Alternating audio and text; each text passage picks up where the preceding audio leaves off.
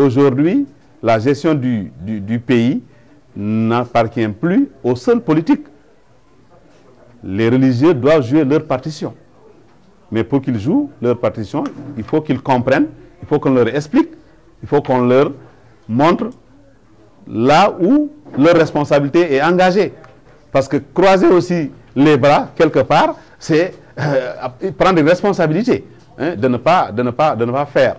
Alors ces cibles aujourd'hui sont trop abandonnées en quelque sorte pour euh, elles-mêmes et nous pensons qu'elles ont beaucoup de rôle à jouer en termes de, construction humaine, mais en termes d'accompagnement et de paix sociale dans le pays.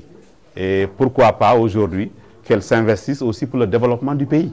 C'est pour cela que nous avons choisi les foyers religieux pour leur demander de se lever. Le président a présenté un projet sain pour le Sénégal, pour l'avenir du Sénégal et ils peuvent adhérer à ce projet et ils peuvent voter oui massivement le 20 mars 2016.